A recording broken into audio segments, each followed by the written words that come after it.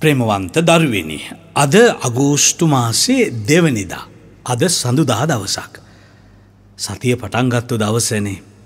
ඔබ හැමෝම කඩිසරව සූදානම් වෙනවා ඔබේ රැකී රක්ෂාවලට පියවරෝසවන්න.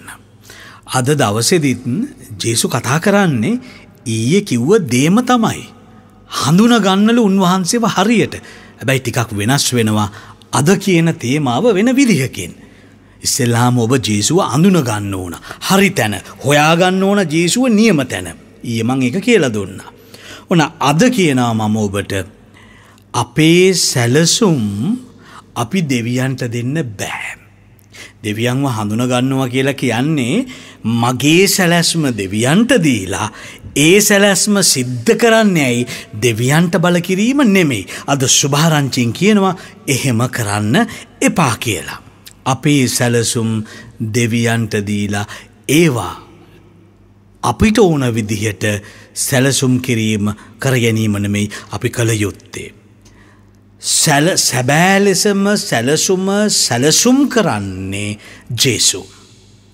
එතකොට ජේසුව ඔබ හඳුනගද්දී ඔබේ ජීවිතයේ සැලැස්ම ඔබට තේරෙන්න පටන් ගන්නවා. ඔබ කරන්න ඕනදේ කියන්න ඕනදේ ඔබේ ජීවිතයේ ගන්න ඕන තීන්දු තීරණ ඔබට සක්ෂුදක්ෂයේ පැහැදිලි වෙනවා. අවුරුදු හැත්ත පහේදී ආබ්‍රහම්ට කතා කරන දෙවියන් කියනවා මහජාතියක පියෙක් බවට පත් කරනවාය කියලා.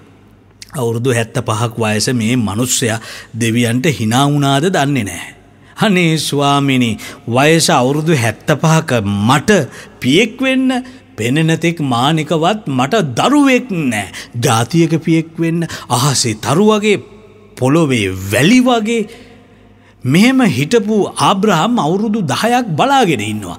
අසූපායි දරුවෙක් හැදෙන පාටක් නෑ දැන ආබ්‍රහම් තමන්ගේ සැලස්මක් හදනවා. හක්ගාර්ගෙ කුස ඇතුළේ තමන්ට දාව දරුවෙකු උපදින්න ඔහු සැලසුම ක්‍රියාත්මක කරනවා. ඔහුට අවුරුදු අසූපහේදී ඉශ්මායිල් උපදිනවා.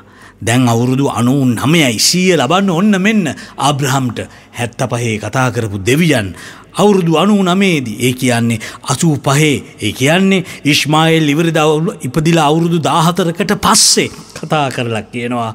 මම උඹට දෙනවයි කිව්ව දරුවව බාරගණ්ඩ ලෑස්ති වෙන්න. අබ්‍රහම් මහනවා ඉශ්මායිල් ඔබේ සැලැස්ම නෙමෙයිද නෑ. ඉශ්මායිල් මගේ සැලැස්ම නෙමේ ඉශ්මායිල් නුබේ සැලැස්ම. ඒ වගේමයි අපේ ජීවිතවල අපි අපේ සැලැස්මෝල් හදාගෙන දේව සැලැස්ම යටපත් කරනවා. දේව සැලැස්ම ඉස්මතු වෙද්දි ඉශ්මයිල් අත්තරන්න වෙනවා. එතකොට ඇදහිල්ල ටෙස් කරනවා. ඔන්න ප්‍රේමවන්ත පොතේ ප්‍රේමවන්තදුවේ ආබ්‍රහම්ට දැන් අවුරුදු දාහතරක පොළොව මත ඇවිද්ද කොළු පැටියෙක්කින්නවා. ඇහැට පේනවා. නහර දැනෙනවා මගෙලේ කියලා දැනෙනවා. මේ දැනෙන කොල්ලව අතාරින්නලු මව්කුසේවත් නැති ඊසාක් වෙනුවෙන්. ඊසාක් උදේසා පණගහන කොළුවෙකුව අතාරිනවා. මේක කොයිතරම් ප්‍රබල හඳුනා ගැනීමක්ද. කොච්චර ප්‍රබල දේව සැලැස්මට අවනතවීමක්ද.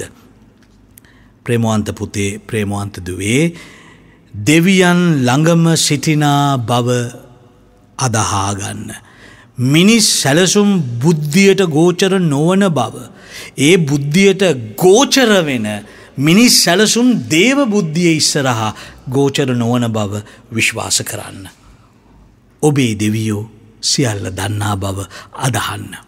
එමනම් අද දවසය ඇරයුම් කරන ඔබට ජේසු හඳුනගෙන හඳුනගත්තු ජේසු තුළ ඔබ වෙනින් වෙනුවෙන් හදපු සැලැස්මට අවනත වන්න. ඔබට ජේසු පිහිටයි.